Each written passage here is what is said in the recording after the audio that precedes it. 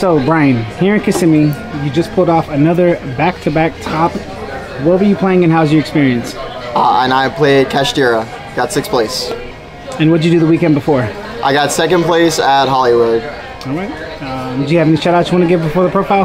Yeah, so shout out, um, obviously my locals in Fort Myers. Uh, shout out all of Jacksonville, of course. Super supportive and uh, always at events with me. So love these guys. Shout out YGO Process.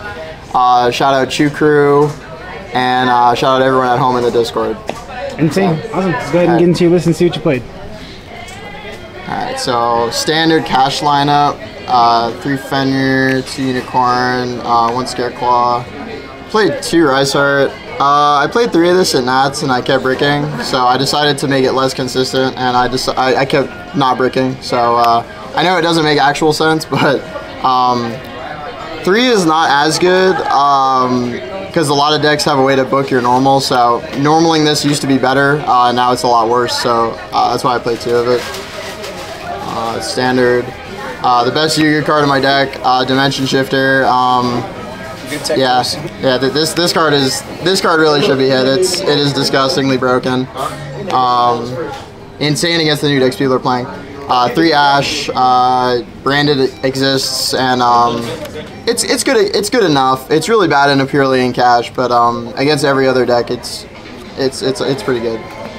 Um, you play three planet terraform. You have to stand. You have to play all these. Uh, three Theosis, Rebirth, uh, the tier limit screen of this deck. This card is ridiculous. Uh, it's like the only way you can beat the Rescue Ace deck because uh, they have no they, they don't play an MST in their deck, so you can actually just survive by birthing them every turn, and they, they have no way to interact with the card. So um, yeah, it's really really insane. Uh, three Prosperity, another card that should be hit. Um, I played, uh, so I didn't want to play like three of these. I just wanted to play two ofs because I, I, wanted to see more of them, not once per turn cards. So I played uh, two talents, uh, two eclipse, and two lance. Uh, I just wanted to draw these and not like in multiples. So um, lance was really good. Uh, talents was okay. I, I, didn't really like it into the other decks, but it's so insane into the mirror that you kind of need to play it. Because uh, if you don't have it in the mirror and your opponent does, it's really hard to win.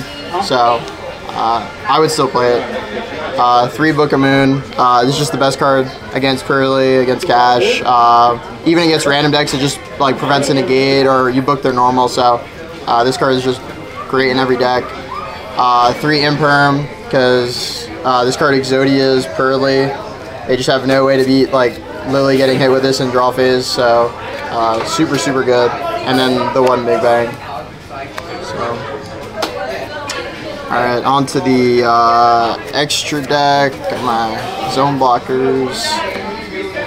I played double Zeus, double Big Eye. I was originally playing only one, but um, in the mirror, this card just comes up a lot. So uh, if they ever rip it with Unicorn, you want the option. And sometimes it comes where you can Big Eye, take a 7, make another Big Eye, take their Rise Heart. So uh, it comes up enough to warrant playing it, for sure. Um, Triple Shangri-Ira. Uh, it's because your turn one play burns through two of these, so if you get nibbed, you kind of want another one just in case. Uh, there's like not a better slot for it, to be honest, so I- would keep playing three. Uh, one Baron, uh, one Dad, one Dracossack, um, the one Arise Heart. Um, yeah, none of this, none of this would really change. Uh, Dracossack is really good for outing skill drain. I really miss the Infinitrack that uh, when it destroys by battle it attaches. That would have been really good today against like these Rescue Ace decks and uh, Unchained because you can actually like get a second Zeus end and Zeus against those decks is crazy. So I would consider cutting this for the, the Infinitrack for sure. Um, one Donner, yeah, play that. Uh, and then my Arise Heart targets were Goliath and then the two Skull Warriors because like these cards just let you get your Rise Heart outed, and instead of when they have an empty board and they out it, and the card, like Intis Garura does nothing. So these cards at least let you hit them on the crackback, um, and they're great for both matchups. So yeah, that's my um, my extra on my side. Uh, Cosmic. Honestly, this could have been Lightning Storm for like the uh, the Rescue Ace deck, but there's too many Labyrinth players playing Lord Heavenly Prison, and I'm not going to put them on drawing that card to just win the game. I need to like respond to their goes in, their their they're skill drains. So I just needed a card that's a quick play, and it, it's like a good. I cited it in the mirror because you can hit like Birth, Planet. Uh, you can hit their set books and their set lances. So I, I think the card's just really it's generically better, and it hits like the Runick deck obviously. So uh, I'd still play Cosmic over Lightning Storm. Uh, three droll. Um, yeah, this card's just, it's on my main deck because I don't think it's good enough against the format, but like it is Exodia against the decks it's good against. Like Mannadium cannot beat this card. Um, I don't side anything against Purrely or cash because, I mean, you're just 50-50ing those matchups if you think this card's going to do anything, and it's really not. It's only good against like Mannadium and some other random decks. So, um, like Dragon Link, yeah. So, uh, yeah, I, would still keep it in the side. Wouldn't man it. Uh, Moonlit, uh, I didn't play any Purrely today, but like in theory, uh, oh, Hollywood I played Purrely. I played four Purrely, and this card is just crazy against Purrely. Like, you know, especially because a lot of them fear Droll, so they'll still do it in their draw phase because uh, their hand can't be Droll, and then they just discard two cards to get um, negated, and they go so minus. Uh, and then I also just generically sided in against a lot of decks because you know it's Moonlit. It hits it hits most decks, so. Uh, the best card, 3D barrier. Um, yeah, this card is just super unfair. Uh, obviously, you just like D-barrier um, Purrely, and they can't do anything. they their only out is cross out, and if you have an established board, there's there's no way that's enough.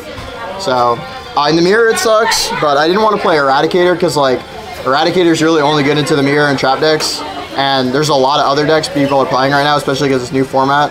So I just wanted a card that's consistent. Like people are playing the Synchro deck, and there's just a lot of matchups where this is like really, really good. So I would just rather play this over Eradicator. Uh, and then Ghost Belle. Uh, branded Labyrinth. Uh, I think you have to respect Labyrinth because you can get eradicated pretty easily in this deck and just lose on the spot. So you just need a card like this that um, you know allows you to actually be able to play. Uh, and this is also good against the Runick Fur Hire deck. So uh, I wouldn't cut this card. I think his application's too too high. So yep, that's it insane. Again, Bryan, you know you've been playing Cash for a while now. You're showing a lot of promise with these events. Is there any changes you're looking to make to the list? Uh, yeah, I would definitely cut the Dracossack for the Infinitrack that attaches after it destroys. Uh, that's probably it, though. Okay, awesome. You got any final remarks? That's it. Thank All you for right. the profile. Thank you.